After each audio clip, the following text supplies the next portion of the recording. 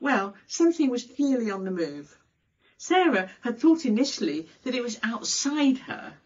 The trees and the bushes seemed to have shifted a foot or two since last week, and her furniture had developed a mind of its own. She had never seen so many scuff marks on her carpet. The table must have dragged itself a good few inches and the jars in the cupboards had reorganized themselves in a very odd way. She had put pulses together, various nuts side by side, herbs and spices separately, but somehow they were all categorized by colour. Red, yellow, green, red lentils and paprika side by side. It was inconvenient. It was not that her life was spinning out of control, but that someone else had a different idea of what should go with what. That could be a sort of heresy. As it turned out, though, things were on the move inside Sarah as well.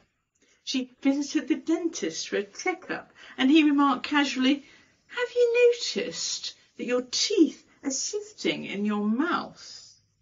Are you going to buy a dental dam to keep them in their proper place? She said she'd let him order one. I preferred the pink version, she said.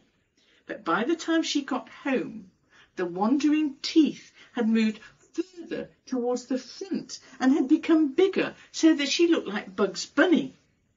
Never mind, Sarah thought. She could always hide her teeth behind a fan. The only problem was that the new dentition made her dribble more than before, so that the front of her frock was soaked through.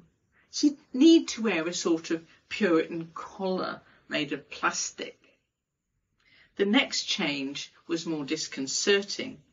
She had noticed she was getting slightly hard of hearing and often had to cock her head to catch people's words. Now her ears began to migrate towards the top of her head. She could hear much better.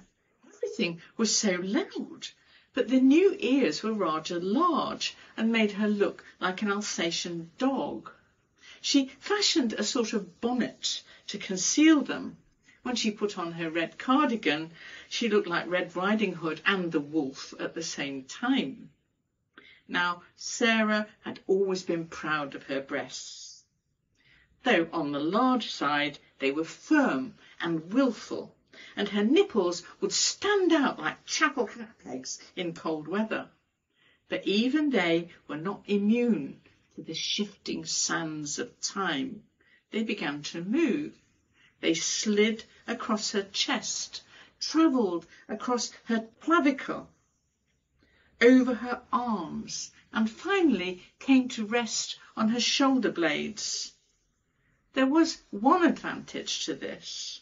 Her current swain loved to hug her. She couldn't get him to do anything else. And he, now he could touch her breast at the same time.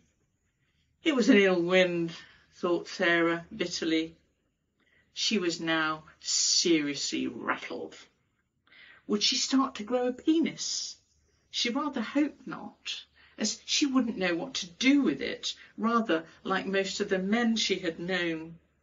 But luck was on her side, or so she thought. Her vagina was on the move. It seemed to be thinking where was best.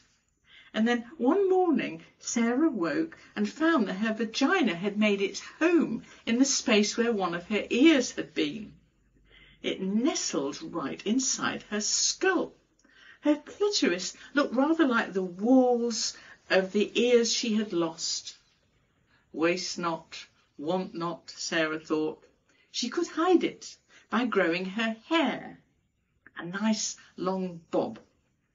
And then, if she wanted to signal that she was ready for the amatory fray, all she needed to do was to put her hair up in a ponytail or a chignon. Well, thought Sarah, it could be worse. In the long, slow march of time across her body, the sensory organs had changed their location. but were still functional and relatively inoffensive.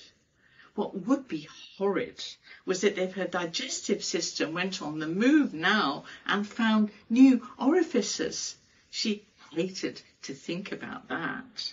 Best keep a good eye out, just in case. Uh, a story which might be construed as shocking, but it's about somebody whose body rebels against her. And indeed, a lot of my work is what you can call body gothic. I mean, the whole, what the parts rebel against the whole in a lot of my work. I've written one about a dog that learns to talk, or indeed one about a, a speaking vagina, um, which which is called um, the growler.